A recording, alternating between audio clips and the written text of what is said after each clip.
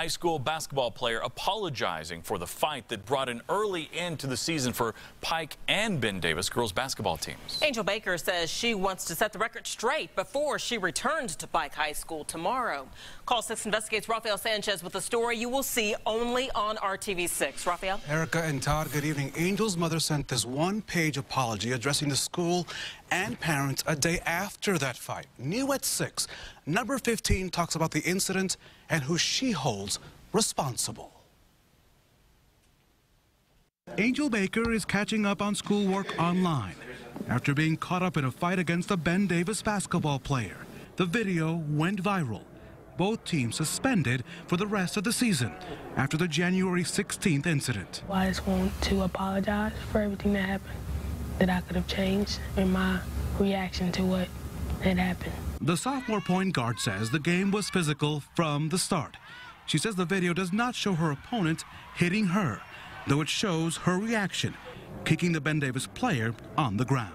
I just want to apologize to my school and IHS to say whatever for um, everything that I did. And uh, I just got to move forward and keep I mean, just trying to stay positive. Angel's parents wish school officials and referees had taken control of the game much earlier. They believe bad behavior on both sides led to the fight. The people who had some type of control, I don't think they exercised it as they should have. Her mother was also concerned with a text message which indicated that Ben Davis players were talking in the locker room about fighting Pike if they lost the game. If you win or lose, you tried your best. You're still a winner.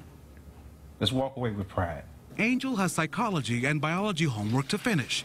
She's wrapping up her five-day suspension today, and she'll be back at the classroom in the morning. Now, Wayne Township would not discuss how it punished its students. The school district will not appeal the sanctions imposed.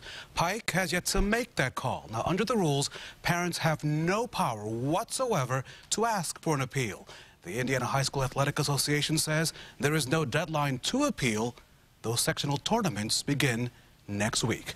Rafael Sanchez, RTV6. We're following several